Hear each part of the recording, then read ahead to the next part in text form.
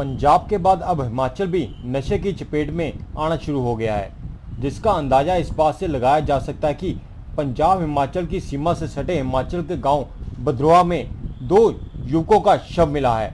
जिनके मुँह से झाग निकल रही थी और उनके पास इंजेक्शन भी मिले हैं, जिससे कयास लगाए जा रहे हैं कि उक्त नौजवानों की मौत नशे की ओवरडोज की वजह से हुई है। पुलिस अधिकारियों से बातचीत की गई तो उन्होंने कहा कि इस बारे में उन्हें सुबह ही सूचना मिली कि गाँव भद्रोआ में चक्की दरिया के पास दो युवकों का शव मिला है, जिसके बाद उनकी ट्वीन द्वारा मौके पर पहुँच के दोनों शवों को कब्जे में लेकर पोस्टमार्टम के लिए भेजा गया है। फ़िलहाल पोस्टमार्टम की रिपोर्ट के आने के बाद ही पता चलेगा कि आखिर इन नौजवानों की मौत का कारण क्या रहा ਹੈ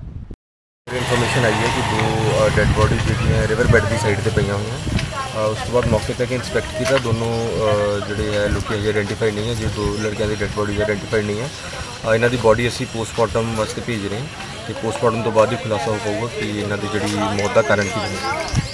ਤੇ ਸਰ ਕੋਈ 7:30 ਵਜੇ 8 ਵਜੇ ਦੇ ਅਰਾਊਂਡ ਇਨਫੋਰਮੇਸ਼ਨ ਮਿਲੀ ਜਿਸ ਤੋਂ ਬਾਅਦ ਸਪੌਟ ਤੇ ਅਸੀਂ ਨਹੀਂ ਹਜੇ ਆਇਡੈਂਟੀਫਿਕੇਸ਼ਨ ਨਹੀਂ ਹੋਈ। ਹੈ ਆਇਡੈਂਟੀਫਿਕੇਸ਼ਨ ਵਾਸਤੇ ਅਸੀਂ ਇਹਨਾਂ ਦੀ ਫੋਟੋਜ਼ ਵਾਇਰਲ ਕਰ ਰਹੇ ਹਾਂ ਸੋਸ਼ਲ ਮੀਡੀਆ ਦੇ ਵਿੱਚ।